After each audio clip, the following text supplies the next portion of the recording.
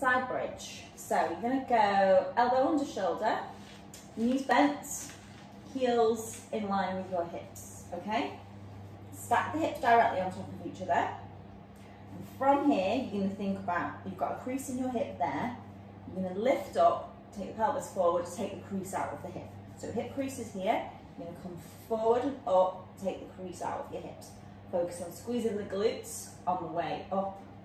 So squeeze the glutes, strong on the supporting leg, strong waist, strong supporting leg, and come back down, controlled back down. So it's forward, take the crease out of your hips, and back down so you start in position.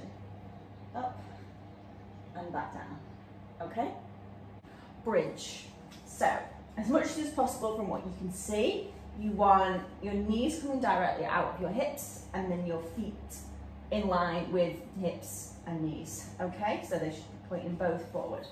You're gonna tuck your tailbone under, squeeze your bum, you're gonna lift straight up. Now you're trying to get as high as you can, still keeping the glutes engaged so you've created a diagonal straight line. Keep that tuck under, come back down. Tuck under, straight back up. And you want to make sure that your knees stay in line. So they shouldn't be falling out or in on the lift. You also want to focus on there being equal weight in the feet and therefore you should feel like it's equal glute and hamstring strength that's creating the push, okay? So tuck under, push up, come back down, okay? Half squat, okay? You're gonna take the feet just wider than hip width apart, turn the feet out ever so slightly to sort of 10 and 2 on a clock face, okay? You're gonna think about engaging the core you stay upright and you're gonna just half squat down, think about pushing the knees out slightly. Okay, so the knees go out, you stay upright. So you should feel like that switches on outer hip and side of your glutes, as well as having to use your core to keep you upright. Don't be scared about sticking your bum out a little bit if you need to, that's fine.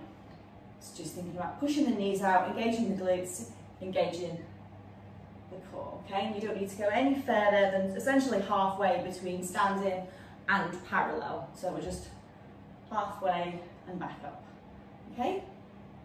The split squat. So, if you need to for support, it's totally fine to have a wall next to you if you're doing this when you're feeling quite unsteady.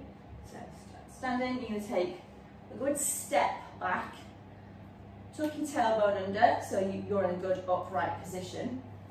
Back heel is raised. You're gonna drop down, keep this knee over the foot so it's not falling in, it's not falling out.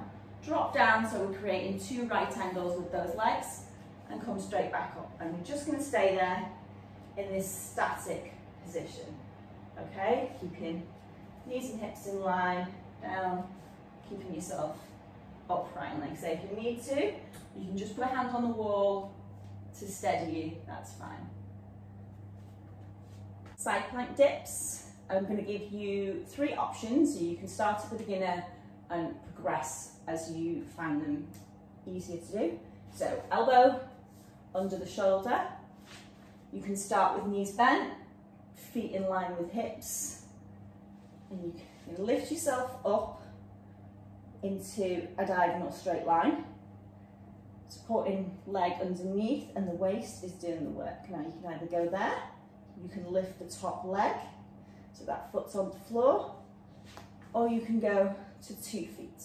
Again, diagonal, straight line.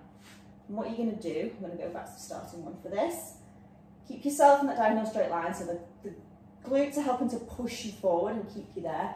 The waist and the muscles on the outer hip of the supporting leg are pushing you up. And then you're gonna ever so gently dip and lower. Now you're trying to keep your hips stacked in that straight line, keeping the chest open. So we're not rounded, it's all in a straight line, and it's just a small dip. You only need to move about an inch. Okay, it's just about the control of the movement. There you go. Thread the needle. This is done in a side plank. So you can go bent leg, heels in line with hips, Lift yourself up to your diagonal straight line. You can have one leg lifted, you can have two legs lifted. Okay, so from our diagonal straight line, glutes are pushing us forward, waist supporting leg, outer thigh, hip are pushing us up. You're gonna stack the hips to start with, and then you're gonna rotate under and look between the gap under your arm and between your waist. So take it round and rotate. So you want the whole rib cage to go with you, but you're trying as much as possible to keep this hip lifted, okay? So up and through and look behind you.